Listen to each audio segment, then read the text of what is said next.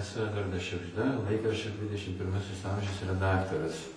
E, trumpai noriu pakalbėti apie mm, naują ekonominę politiką, kurie, kurie mes netrukus pajusime ir kurios padarinius mes galbūt na, tikrai išgyvensime visi.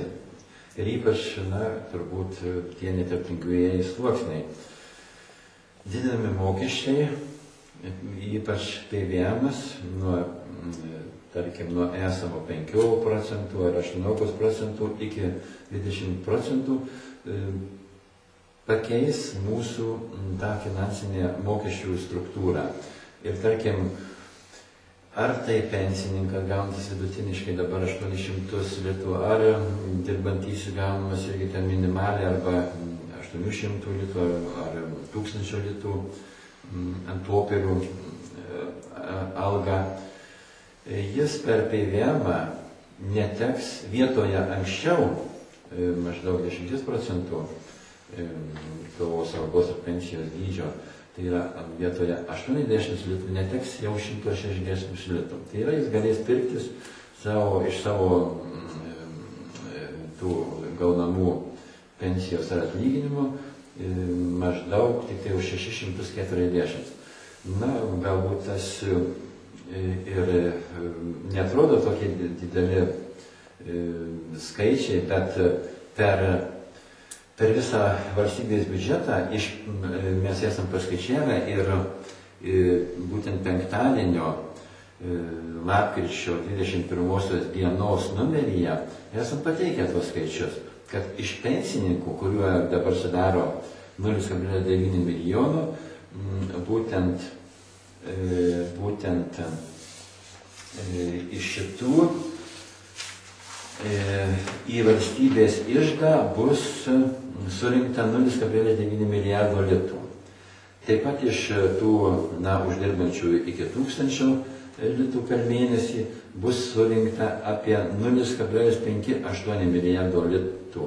Tai yra iš viso šitų dviejų grupių, na, jau tokių tikrai sunkiai gyvenančių, bus surinkta 1, na, beveik pusantro milijardo litų. Tuo tarpu pagal krizės įveikimo planą, pagal šitos mokesčius, mokesčių naują surinkimo arba, kaip vadinama, kaip kubilius mėgsta vadinti, flat tax, tai yra plokštieji mokesčiai, bus surinkama pusantro milijardo litų, tai yra E, beveik tiek, kiek jis planuoja e, pagal mokesčių surinkimo sistemą ir surinkti. 2 milijardus jis planuoja. Tai iš šitų dviejų grupių jau pusantro milijardo surinkame. E, mm, iš kitų grupių, iš turtingesnių, vadinasi, bus surinkama tik tai pusė milijardo. Taip rodo būtų paskaičiavimai tokie. Ir čia nieko nepadarysi. Vadinasi, šios grupės jau socialiai tokios pažeidžiamos bus dar labiau pažeistos. Ir tas yra, na, turbūt nelabai galima šitam dalykui pritarti. Na, o visa kita dar, na, bus, tarkim, mažinamas gyventojų pajamų mokestis. Tai yra, na, ten tam, pagal tam tikrus skaičiavimus reikia galima e, paskaičiuoti, kad maždaug nuo tūkstančio gaunamos algos, jam alga padidės šiuo atveju 40 litrų, kaip sakant na, tą padidėjimą jis kažkiek tai pajus, bet kada pajus, vėlgi neaišku. Nes pagal krizės įveikimo e, planą neaišku, kokiu būdu jam bus gražinamas šitas, na, permokaitas pajamų mokestis. Galbūt po metų. Po mėnesio nemanau, kadangi tas bent kol kas nerodo. Nemanau, kad pajamų, tai yra tiksliau e, valstybinė mokesčių inspekcija, sugebės perskaičiuoti E, kas mėnesį pagal gaunamas kažkokias tai pažymus, turbūt apie jo gaunamą mm, e, atlyginimą.